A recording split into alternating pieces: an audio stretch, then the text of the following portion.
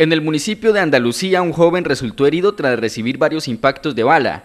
El hecho de sangre se registró hacia las 6 y 45 de la mañana de este sábado en el callejón Los Garzones, exactamente en el sector conocido como El Hoyo. Allí desconocidos le propinaron cinco impactos de bala al joven de 21 años de edad, quien fue llevado de inmediato al Hospital San Vicente Ferrer de dicha localidad y desde allí remitido a un centro asistencial de mayor complejidad en la ciudad de Tuluá. Según las autoridades, los hechos son materia de investigación.